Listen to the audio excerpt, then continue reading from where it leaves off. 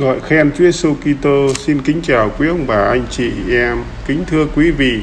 Theo cáo phó của Tòa Tổng Giám mục Hà Nội, trong niềm tin vào Chúa Kitô tử nạn và phục sinh, Tòa Tổng Giám mục Hà Nội trân trọng kính báo Thầy Doan Trần Văn Trạc sinh ngày 20 tháng 12 năm 1942, nguyên quán Xuân Bảng Kim Thái, vụ bản Nam Định đã được Chúa gọi về vào hồi 11 giờ 45 phút ngày 16 tháng 7 năm 2022, tức ngày 18 tháng 6 năm nhâm dần, tại Tòa Tổng Giám mục Hà Nội, hưởng thọ 80 tuổi.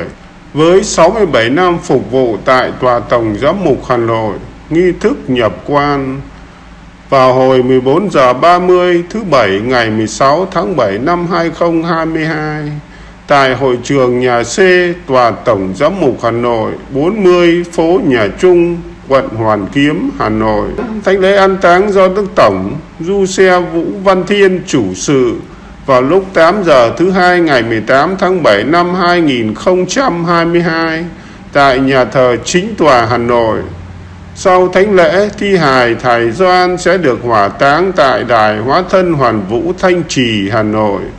Sau đó, thầy Doan sẽ được an nghỉ tại vườn thánh giáo sứ Xuân Bảng, xóm già Kim Thái, vụ bản Nam Định.